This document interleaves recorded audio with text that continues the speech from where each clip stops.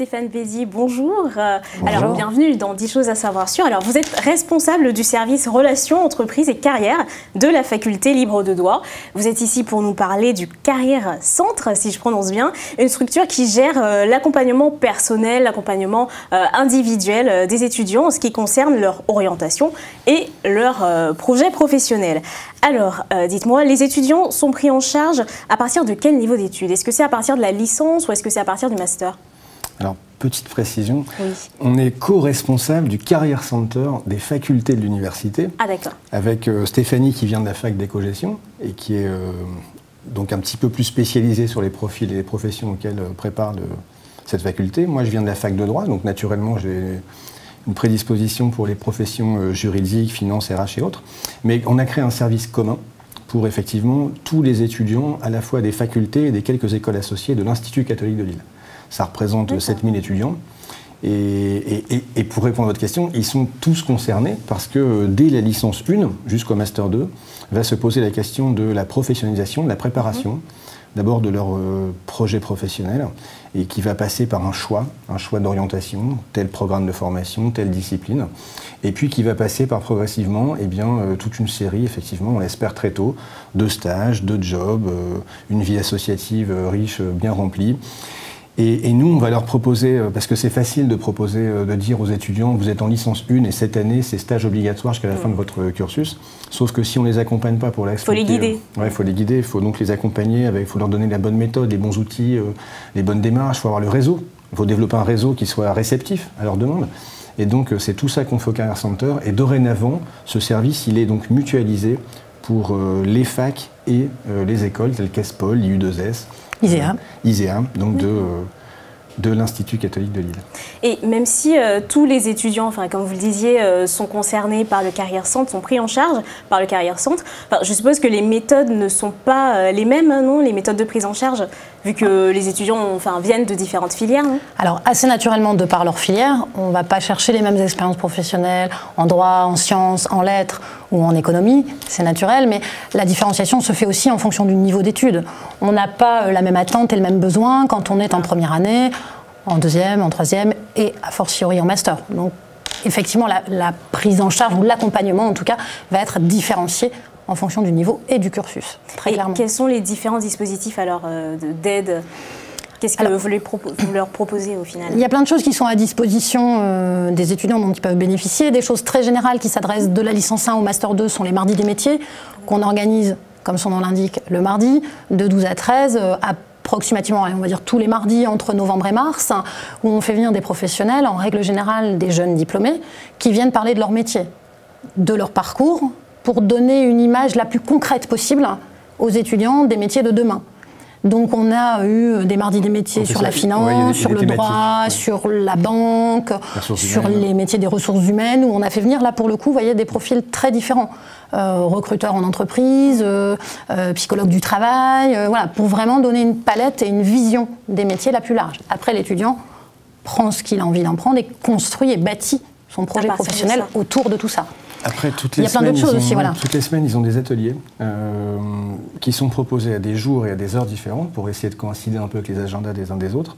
Et donc, on a des ateliers comment je fais un CV, comment j'établis une aide de motivation et comment je, comment je recherche finalement euh, du bon usage des réseaux sociaux, comment je me prépare un entretien professionnel, etc. Donc, ça, ils ont des ateliers toutes les semaines. Et enfin, nous, on en reçoit tous les jours en entretien individuel, parce que c'est l'objectif aussi, qu'ils puissent avoir un accompagnement. Donc, à la fois, il y a des choses collectives Et, après, il y a autant d'entretiens euh, individuels euh, souhaités. Euh, je suis étudiant, je souhaite venir en entretien, en entretien pardon, individuel. Comment est-ce que je fais? Il faut prendre rendez-vous d'abord Idéalement. Il faut franchir la porte du Comment Comment? Eh ben, on, peut venir sur place, sur Internet Comment ça se passe? Eh ben, on peut faire les deux parce qu'on a, on a une collègue, Ludivine Laurent, qui elle va effectivement vous accueillir au Carrière Center si nous on est occupé à être en entreprise ou en entretien ou autre. Et donc vous allez prendre rendez-vous avec, euh, elle va gérer nos agendas et prendre des, rendez-vous. Souvent le rendez-vous il va durer de 20 à 40, 45 minutes, ça peut être plus, hein. s'il dure une heure, il dure une heure. S'il dure moins, bah, c'est comme ça. Euh, et puis après, ou alors vous écrivez, on a, on a un lien, une adresse carrière center, catholiquefr Et donc on peut aussi écrire à cette adresse, solliciter un entretien par ce biais-là, et on a euh, une proposition qui vous est faite juste après. Et les étudiants reçoivent également des newsletters, des mailings pour les informer des dates des ateliers, des mardis des métiers. Euh, dès qu'ils sont étudiants Dès qu'ils sont étudiants, non, non, dès qu'ils sont inscrits ici au FAC, en fait, ils ont toutes les semaines euh, des informations sur l'événement de la semaine organisé par le Carrière Center. Hier, euh, on recevait PwC, donc Luxembourg, donc Price Waterhouse Coopers, gros cabinet d'expertise comptable, pratiquement d'ailleurs l'un des, plus grands du monde, si je puis dire, en tout cas en, termes de chiffre d'affaires. Bon, eh ben, nos étudiants, ils, sont au courant de ça euh, une semaine avant, ils ont un autre euh, mailing qui leur a envoyé trois jours avant, le matin même. Bref, après, euh, viennent ceux qui sont intéressés. Nous, ce qu'on espère, c'est qu'ils viennent de plus en plus nombreux. Alors, nous voir, parce qu'on a objectivement une vraie expertise dans pas mal de nos professions. Et puis parce que c'est intéressant pour vous d'avoir ce rapport au professionnel. Il faut, aussi savoir que le Career Center, il a aujourd'hui vocation à centraliser toutes les offres de stage, toutes les offres de job, toutes les offres d'emploi. Dans différents domaines. toutes les offres de contrat en alternance. Stéphanie va vous parler dans pas longtemps d'un événement majeur qui marque chaque année euh, effectivement ah, notre justement, j'allais vous demander euh, quels sont les événements au niveau de l'année euh, que vous organisez? Alors au-delà des mardis des métiers, des ateliers dont on a parlé et du fait que l'étudiant peut venir au Career Center, mais que le Career Center vient à l'étudiant aussi au travers des emailing. Il y a un temps fort dans l'année qui est le job dating, qui a lieu le 4 février, euh, début février tous les ans. Cette année, c'est 4 février 2016, où euh, les entreprises viennent. Euh, m'envoient préalablement, nous envoient au Career Center préalablement les offres de stage et d'alternance et les étudiants s'inscrivent. Vous êtes sur un cursus de droit du travail, vous allez vous inscrire sur une offre en droit du travail, vous êtes sur un cursus de finance, vous ne vous inscrivez pas en droit du travail mais en finance. Et ensuite, les entretiens sont programmés directement avec les entreprises. L'année dernière, pour vous donner un ordre d'idée, on a reçu euh, une quarantaine d'entreprises et il y a eu 460 mmh. entretiens dans l'après-midi. D'accord. et vous avez euh, eu un retour sur les résultats euh On est à un peu plus d'un sur deux. C'est-à-dire qu'un étudiant sur deux a trouvé son stage, son, alternance, et du coup, par la suite de l'alternance, son premier boulot à l'issue du job dating. Ce qui est intéressant aujourd'hui, c'est que, eu égard au parcours de formation proposé par les facs de, l'université, eh bien en fait, on peut, on peut proposer euh, des profils dans n'importe quelle direction dite transversale, transverse, ou les fonctions support en entreprise, au marketing, à la com, à la finance, aux ressources humaines, au droit des affaires, enfin au juridique quoi.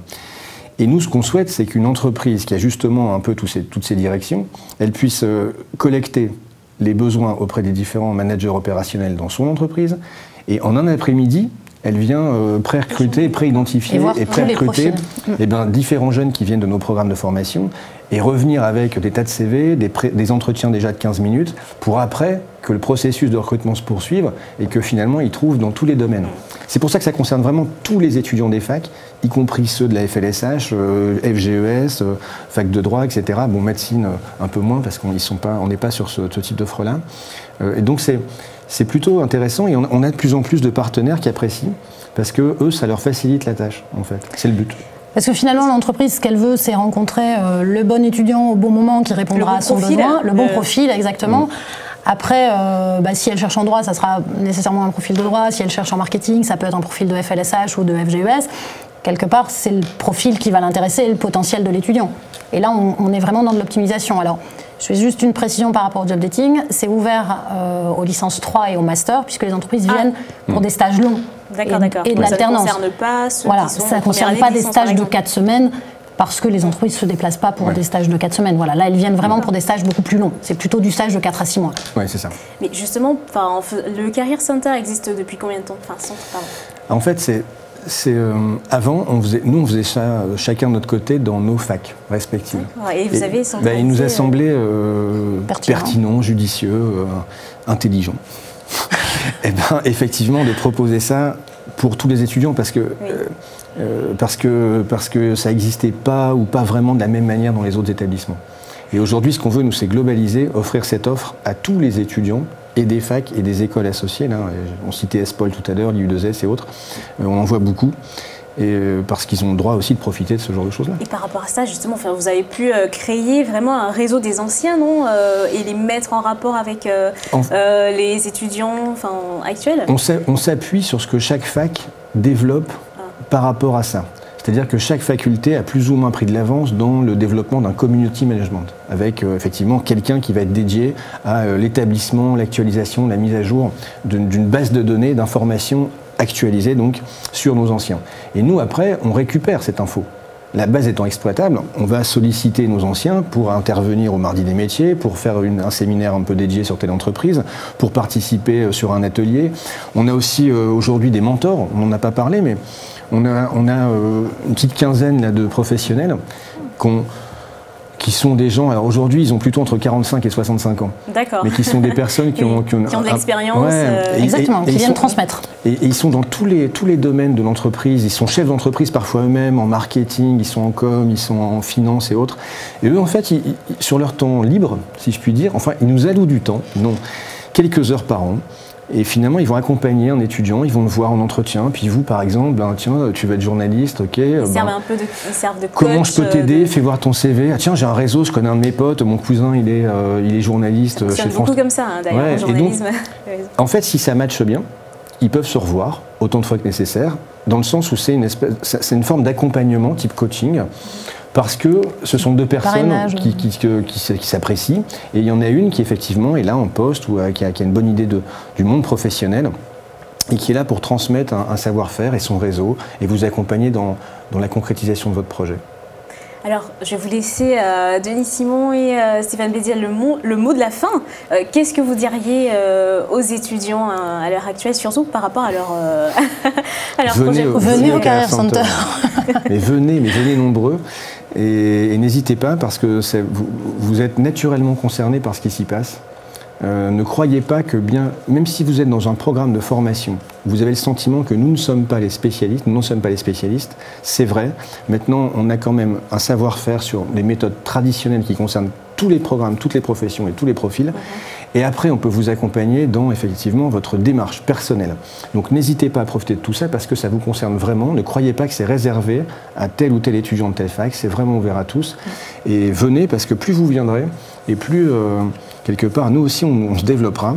On a de, belles ambitions par rapport à ça, avec euh, l'intégration de profils qui pourront accompagner euh, bah, des étudiants sur lesquels justement nous, on n'a pas une vraie forme de spécialité, parce que dans le même temps, ce qui compte pour nous aussi, c'est développer le réseau et la connaissance du réseau et des métiers auxquels, auxquels euh, justement aboutissent nos programmes de formation.